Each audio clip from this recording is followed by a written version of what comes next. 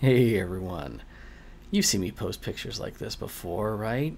Telephony access control systems outside of buildings, especially the DoorKing system series of products, right? With that famous 16120 key, lets you access the inside of the panel. What does it mean if you can look at a box like this and get to the inside of the panel? Well, it means it doesn't matter if you don't have the code or don't have the RFID badge.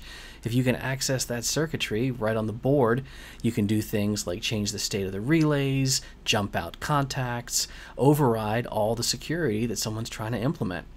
And it's not just me popping open boxes like this and then entering properties, right? It's not just me demonstrating this to clients.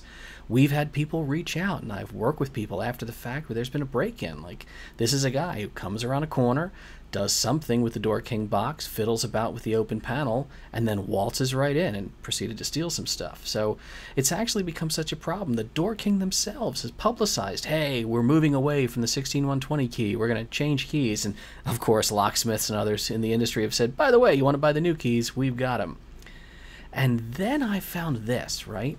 So have a look at what's going on here even though you can swap that lock out either from DoorKing or from a third party, some folk are taking it a step further. This is the first time I ever saw this. A bar, a bar running across the whole cabinet with a padlock, right? And I thought, how weird is that? And then I saw another one. This one's on a Sentex, similar type of product, right? A telephony access control box, completely different city. And then my buddy Ian sent me this photo. This is not firearms Ian. This is lawyer Ian. Well, he's actually also a firearms guy. He's he's Canada Ian. We'll call him that. I would call him really nice Ian because he's in Canada, but you know, other Ian McCollum's also nice. So this is Ian Runkle, right? My buddy Ian sends me these photos. He's like, look at this.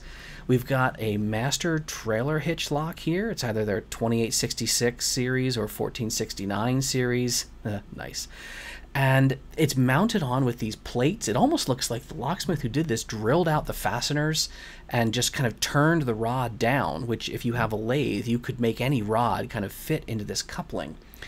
And it's just a really neat mod. Again, like people are starting to do this. Now, is it a very good lock to use in this application? I wouldn't really say so.